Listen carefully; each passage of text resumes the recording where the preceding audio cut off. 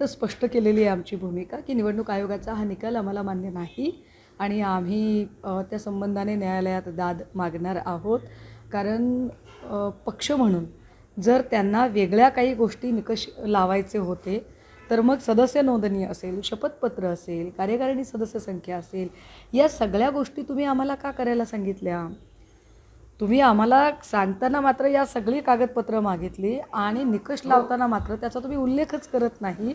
याचा अर्थ निव्वळ शिवसेनेचा वेळ घेणे शिवसेनेला त्रास देणे आणि सातत्याने शिवसेना कशी अडचणीत येईल याचा प्रयत्न करत राहणे.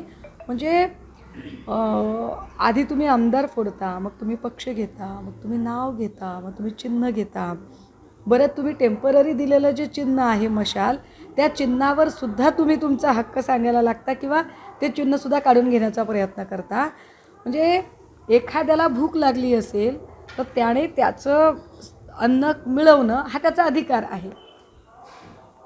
परंतु स्वतःचं पोट भरून जेवण झाल्यानंतर दुसऱ्याच्या ताटात मुठभर माती कालवणे हा हा अधिकार नाही ही विकृत बुद्धी आहे.